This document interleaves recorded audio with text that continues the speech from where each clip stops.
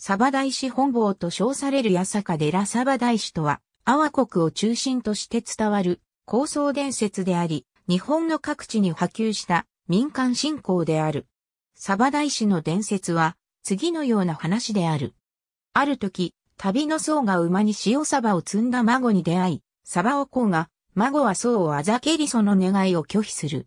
孫が去ろうとしたところ、僧が主歌を唱えると馬が腹板を起こし苦しみ始める。孫が誤ってサバを与えると僧は再び主歌を唱え、馬は元に戻った。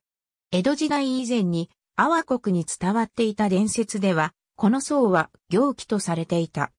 土佐国との境にほど近い八坂八浜と呼ばれる難所が伝説の舞台とされており、その場所に建てられた行基庵という伊予が、サバ大師信仰の本山とも言える八坂寺の縁起となっている。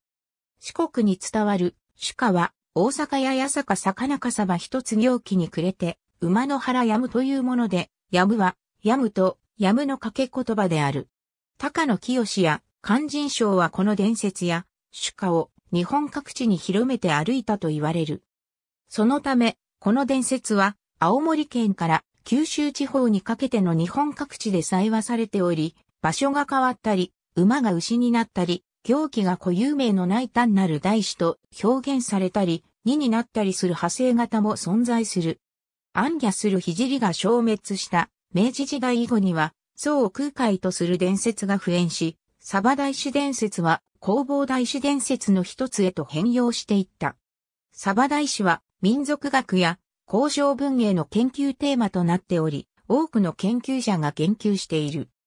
柳田国夫は昔話覚え書きの中で、サバ大師伝説と全国に分布する昔話、牛方山乳母との共通点を指摘し、弘法大師伝説の中心地である四国地方で、サバ大師伝説の主役が行基であり続けた謎や、日本の交通史の一端を示している可能性について提起した。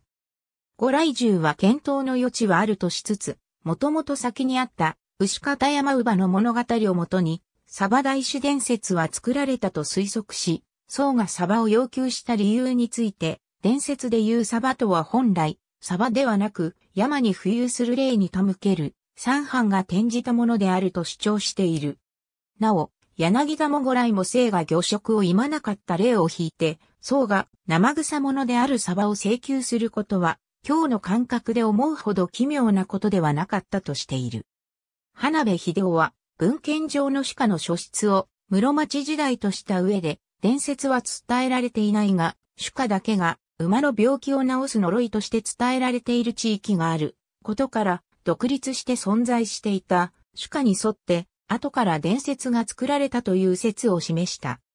サバ大師の大師像は、御座を背負った立ち姿で傘をかぶり、左手に数珠、右手にサバを一匹掲げた姿をしており、サバを手にしている部分を除いては、旅装の具法大師像と似た特徴を持っている。かつては、路傍や峠の入り口に、サバ大師の石仏が置かれ、漁業や陸運業の安全と繁盛、牛馬の加護を願う対象となっていた。また、東北地方では、牛馬の腹板を癒す呪いとして、行基の主家が伝えられていた。近代後に、大師信仰に収容された鯖大師は、札所となっている寺院や大師堂に収められ参拝の対象となっている。ありがとうございます。